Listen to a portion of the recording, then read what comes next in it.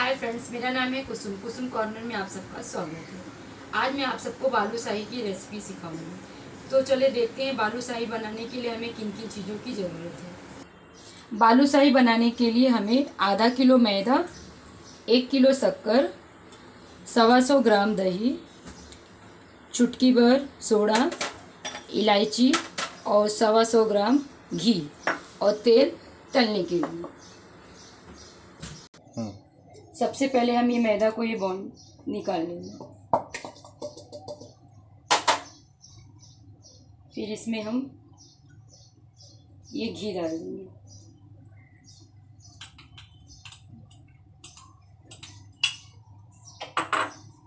दही।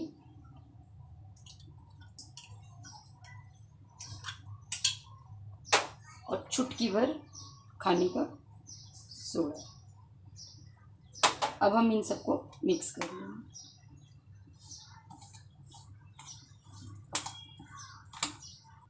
देखिए फ्रेंड्स हमने सबको मिक्स कर लिया। अब इसमें हम थोड़ा थोड़ा पानी डालेंगे। हल्का सा पानी लेंगे।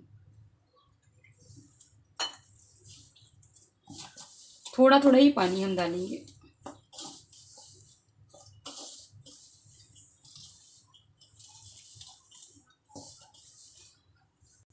देखिए फ्रेंड्स हमने ये आटे को गून लिया है। इसको हम ज़्यादा नहीं गूनेंगे, बस इसको हम ऐसा करके दस मिनट के लिए ढक के रख देंगे। देखिए फ्रेंड्स अब बालू शाही के लिए हम सबसे पहले चाशनी बना लेंगे। तो मैंने कढ़ाई गर्म करने के लिए रख दिया है। अब हम चाशनी बनाएँगे। अब इसमें हम शक्कर डाल देंगे। और एक गिलास पानी देंगे और हम हमें भी चाशनी बनने देंगे। देखिए फ्रेंड्स, हम चाशनी बना रहे हैं। थोड़ा देर हम इसे ऐसे पकने देंगे। अभी हम शक्कर और गला लेंगे।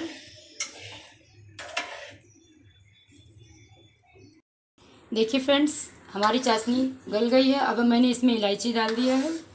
इलायची से हमारे बालूशाही में और टेस्ट आ जाएगा। और चाशनी हमारी पक गई नहीं, इसे देखने के लिए हम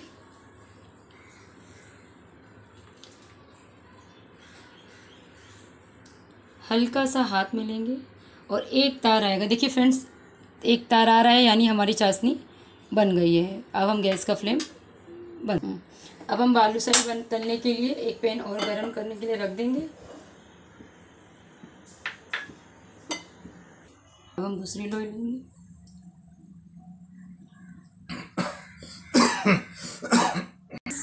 हमने आटे को हाथ में ले लिया है, अब इसकी छोटी छोटी लोई बनाएँगे और बीच में हम ऐसा कट दे देंगे।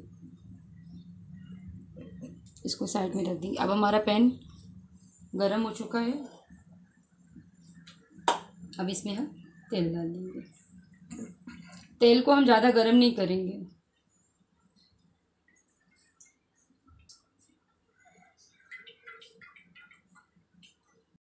देखिए फ्रेंड्स हम बालू से ही बना रहे हैं। इसको ऐसा राउंड राउंड करना है, और ऐसे चिपका के दोनों बाजू से।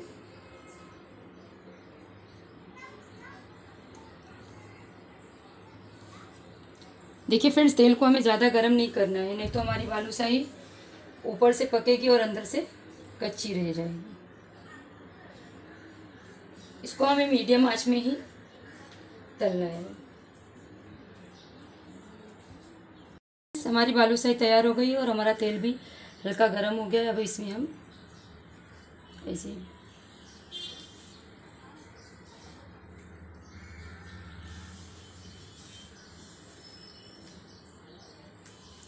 इसको हम मीडियम ही आँच में तलेंगे।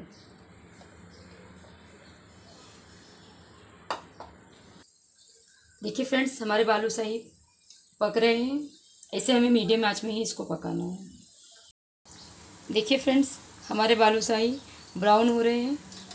इसी तरह हमें इसको चलाते रहना है और थोड़ा ब्राउन करना है। देखिए फ्रेंड्स हमारे बालूशाही अच्छे से तल चुके हैं ब्राउन हो चुके हैं। अब इसे निकाल के हमें डायरेक्ट चाशनी में डाल देना है।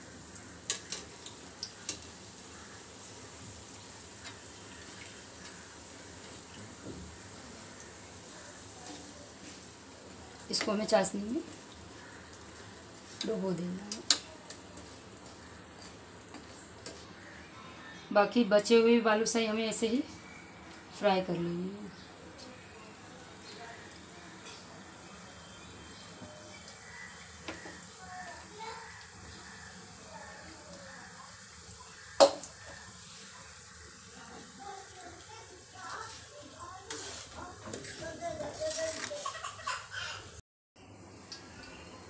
देखिए फ्रेंड्स पाँच मिनट हो गए हैं।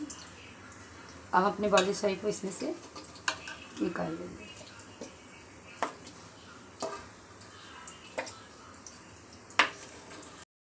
देखिए फ्रेंड्स हमारे दूसरे बालूशाही भी अच्छी तरह से लाल हो चुके हैं। अब इसे भी हम चाशनी में डाल देंगे।